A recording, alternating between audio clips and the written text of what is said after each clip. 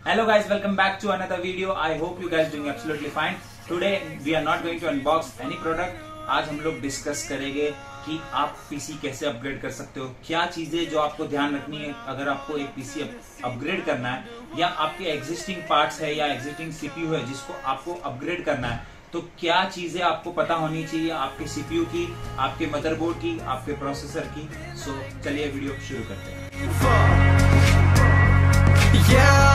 So guys, first of all, you have to check your specifications of the existing motherboard जो कि आपका पुराना motherboard है जिसको आपको अपग्रेड करना है। उसका आपको स्पेसिफिकेशन देखना है। तो सबसे पहले आपको यहाँ पे विंडो आर प्रेस करना है शॉर्टकट की या यहाँ पे जाके आप रन भी लिख सकते हो। टाइपिंग मिस्टेक रन लिखोगे। सो यहाँ पे रन का ये डायलअप आ जाएगा। और यहाँ पे आपको लिखना है D X D I A G D X D I A G आप ये प्रेस करोगे और एंटर करोगे, ठीक है? सो यहाँ पे आपको आपके सीपीयू का प्रोसेसर का graphic display sound display sound sound card कौन सा साउंड कार्ड है, सब कुछ डिटेल आपको यहाँ पे मिल जाएगा।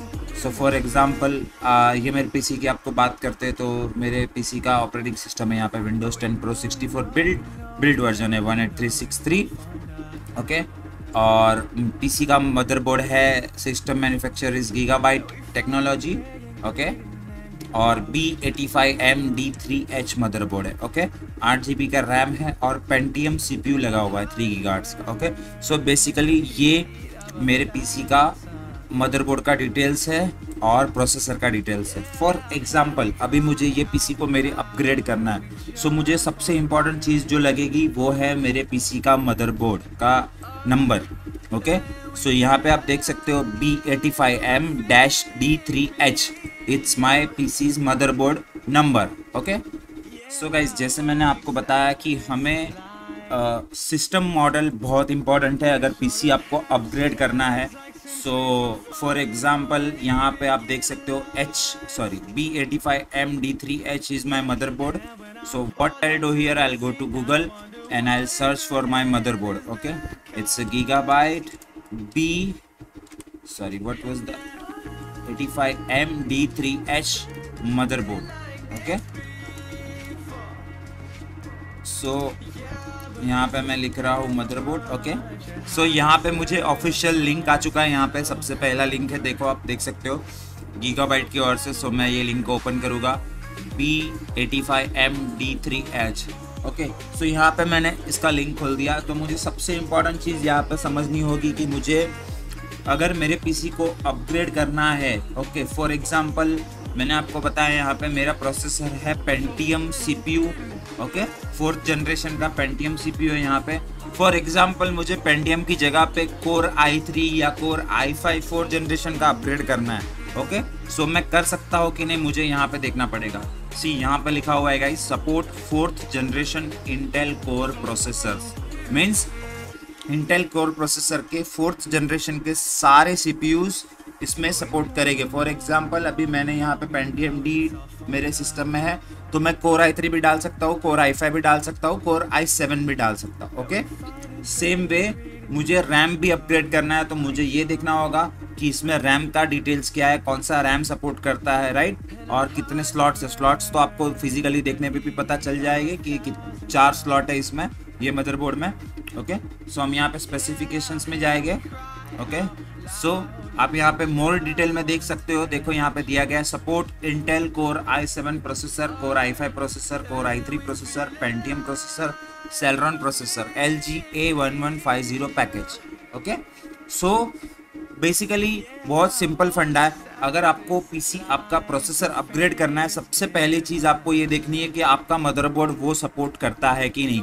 अगर नहीं करता तो आपको प्रोसेसर के साथ साथ मदरबोर्ड भी चेंज करना पड़ेगा राइट और यहाँ पे दिया है, देखो support D D R three sixteen mega और one three three mega memory module means ये 1600 मेगाहर्ट्ज का रैम भी सपोर्ट कर सकता है, ये 133 मेगाहर्ट्ज का भी रैम सपोर्ट कर सकता है अप टू 32 जीबी मतलब ये बत्तीस जी तक सपोर्ट कर सकता है ये मदरबोर्ड ओके सो अभी मेरे सिस्टम में आठ जी रैम है सो मैं इसे बत्तीस जी तक एक्सपांड कर सकता हूँ इजीली ओके सो गाइज़ आपको होप ये चीज़ इतनी क्लियर हुई हो ओके सो गाइज़ और एक चीज़ मैं क्लियर करना चाहूँगा यहाँ पे, किसी के कोई सिस्टम में आपको यहाँ पे सिस्टम मॉडल ब्लैंक लिख के आता है सो so आपको क्या करना है कि आपका सो so आपको मॉडल नंबर फाइंड आउट करना है और यहाँ पे आपको ब्लैंक आ रहा है। ब्लैंक क्यों आ रहा है? क्योंकि जो विंडोज़ है वो कैप्चर नहीं कर पा रहा है कि कौन सा मदरबोर्ड आपके इसमें इंस्टॉल्ड है वो फिगर आउट नहीं कर पा रहा है या बायोस का इश्यू है वॉट एवर द रीज़न यहाँ पे आपको सिस्टम मॉडल शो नहीं कर रहा है। सो so, आपको क्या करना है? आपको कैबिनेट का ढक्कन खोलना है और फिजिकली चेक करना है।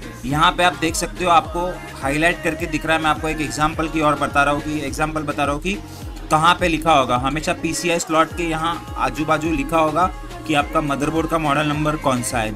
जैसे यहाँ पे लिखा है Gigabyte H sixty one M S okay same way ये आपको एग्जांपल देता हूँ मैं मेरे मदरबोर्ड का okay just a second okay so आप यहाँ पे देख सकते हो।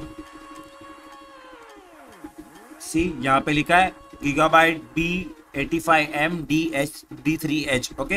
So if your uh, system is not showing the system model here you have to physically check on your motherboard कि आपका मॉडल नंबर कौन सा है। So होप आपको ये पॉइंट क्लियर हुआ हो कि मैं क्या बताना चाहता हूँ।